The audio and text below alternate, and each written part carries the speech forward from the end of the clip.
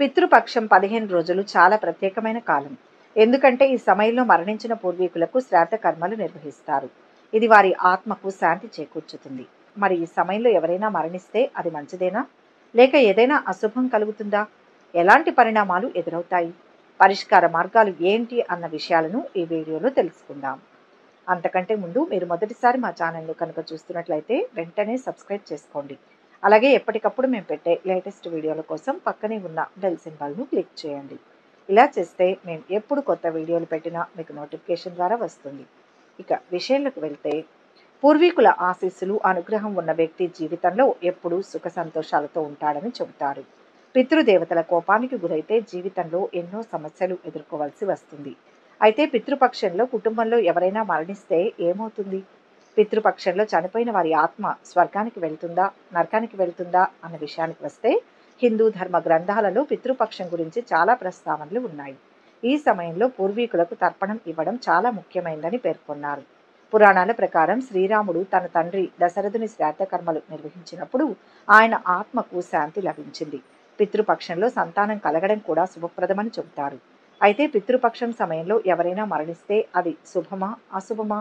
ధర్మ గ్రంథాల ప్రకారం పితృపక్షంలో కుటుంబంలో ఎవరైనా మరణిస్తే అది శుభప్రదంగా పరిగణించాలని తెలిపారు. ఈ పదిహేను రోజుల్లో ఎవరైనా మరణిస్తే వారు అదృష్టవంతులని వారి ఆత్మకు త్వరలో మోక్షం లభిస్తుందని నమ్ముతారు.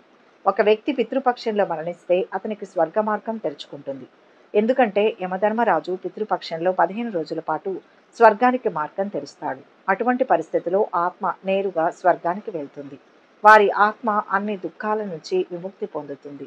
హిందూ ధర్మ గ్రంథాల ప్రకారం పితృపక్షాన్ని ఆధ్యాత్మిక పండుగగా పరిగణిస్తారు. ఈ సమయంలో మరణించిన వారి ఆత్మ నేరుగా తదుపరి ప్రపంచానికి వెళ్తుందని నమ్ముతారు. అలాంటి ఆత్మలు మరణానంతరం స్వర్గానికి చేరుతాయి. పితృపక్షంలో ఒక వ్యక్తి మరణించినప్పుడు అతనికి అతని కుటుంబానికి శుభం కలుగుతుందని అర్థం. మరణించిన ప్రాణి ఆత్మ రూపంలో పితృలోకంలో ఉంటుంది. ఆ ఆత్మ తన పూర్వ కర్మానుభవం కోసం తిరిగి భూమి మీద జీవాత్మగా వస్తుంది. మరణించిన పితృదేవతలకు మోక్షం కలగాలంటే కర్మ పరిపక్వం కావాలి. అలా జరగాలంటే పితృదేవతలు దేహధారణ చేసి ఈ లోకంలోకి రావాలి. అలా రావాలంటే వారికి అన్నాన్ని అందించాలి. అది రక్తం పంచుకు పుట్టిన పుత్రులే అందించాలి. అప్పుడే వారికి పితృ రుణం తీరుతుంది. పుత్రులు రుణం తీర్చుకుంటేనే పితృదేవతలకు మోక్షం లభిస్తుంది. ఈ రుణం తీర్చుకునేందుకు ఈ పదిహేను రోజులు చాలా ప్రత్యేకమైనవి. ఈ వీడియో కనుక మీకు నచ్చినట్లయితే లైక్ చేయండి షేర్ చేయండి.